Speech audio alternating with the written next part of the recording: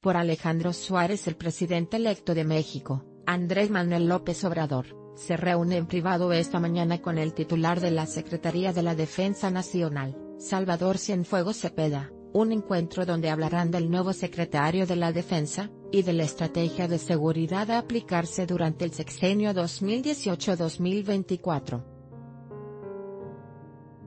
En la reunión, que se lleva a cabo en las oficinas del general Cienfuegos Cepeda, también está presente Alfonso Durazo, quien es propuesto por el presidente electo como el próximo secretario de Seguridad Pública, y como tal, será el responsable de la estrategia de seguridad.